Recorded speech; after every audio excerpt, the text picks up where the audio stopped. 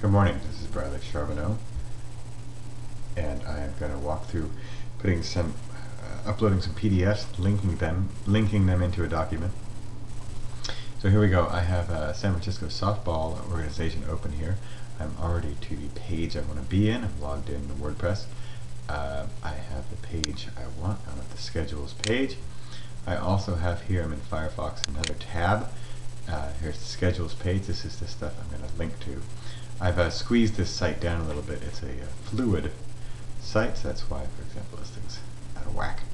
So what I want to do is, for example, here is Sunday, a DD10. These are uh, schedules for certain teams.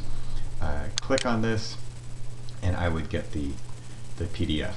So that's what I want to do. For example, I haven't done them all, and that's what I'm going to do here. So I'm going to go back to WordPress. Now, you'd think I could just highlight this and then click and link to a PDF. But I need to upload the PDF first. So I'm going to do that down below. Uh, so here's where I'm going to upload my file. I'm going to give it a title. Then I'm going to upload it. But let's go pick one I want first. I'm going to do, what have I not done yet? I'm going to go do, uh, I'm looking at the files I have on hand to upload here first course, if you knew what you're doing, you wouldn't need that. There we go, C2. So I'm going to highlight C2 because I want that to be a link. I'm going to scroll down here to my upload. I'm going to click Browse. It's going to open up a window where I have all these PDFs. There's my C2 file. I'm going to go, well, it says open, but I'm really going to go upload.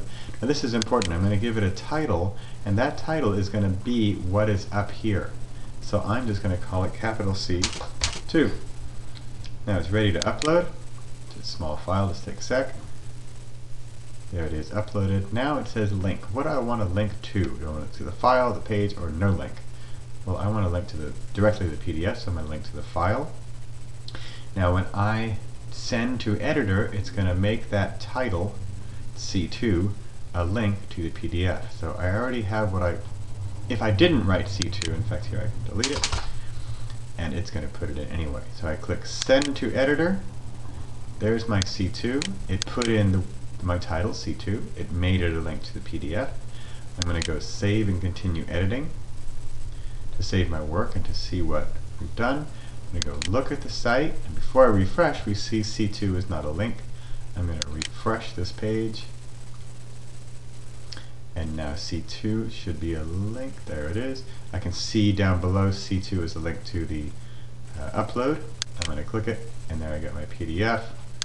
I opened that and that would open my PDF, which, there it is, opened. So that's it. Uh, con continue and repeat. Uh, D6, I, I could highlight D6, go down here, browse for D6, upload, put it right there. That's about it. Okay, that's it for today. Hope that was helpful. Bye-bye.